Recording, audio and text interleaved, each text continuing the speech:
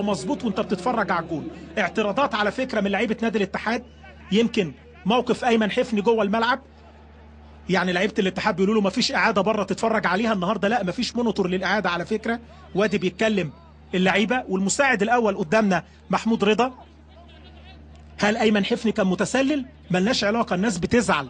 سواء اتكلمنا إيجابي سلبي يقول لك الراجل جاي علينا أو الراجل مع الفرقة اللي جابت الجون. إنما كله شايف اللعبه لعبة مصطفى فتحي مع أيمن حفني. لعيبة نادي الاتحاد بيعترضوا إن في تسلل على أيمن حفني.